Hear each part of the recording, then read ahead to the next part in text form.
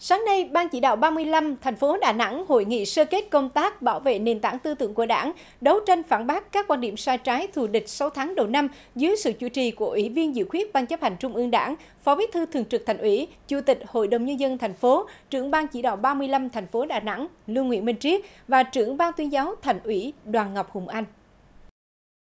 Dấu ấn nổi bật 6 tháng đầu năm, đó là qua bám sát sự lãnh đạo chỉ đạo của Ban chỉ đạo 35 Trung ương, Ban Thường vụ Thành ủy, Ban chỉ đạo 35 thành phố Đà Nẵng đã chỉ đạo định hướng các cấp các ngành đẩy mạnh tuyên truyền, lan tỏa thông tin tích cực, kết hợp đấu tranh phản bác các quan điểm sai trái, thù địch, Nội dung, hình thức tuyên truyền đấu tranh phản bác được chú trọng đổi mới, đảm bảo phù hợp với từng địa phương, cơ quan đơn vị, từng đối tượng, từng bước nâng cao nhận thức về ý nghĩa tầm quan trọng của công tác chỉ đạo triển khai thực hiện nghị quyết số 35, nhất là đối với người đứng đầu địa phương, cơ quan đơn vị. Thời gian đến, Ban chỉ đạo 35 các cấp xác định tiếp tục quán triệt, thực hiện các chỉ thị, nghị quyết, kết luận, văn bản chỉ đạo của Trung ương, thành phố về bảo vệ nền tảng tư tưởng của Đảng, đấu tranh phản bác các quan điểm sai trái thù địch trong tình hình mới, gắn với tổ chức thực hiện nghị quyết đại hội 13 của Đảng, nghị quyết đại hội lần thứ 22 Đảng bộ thành phố.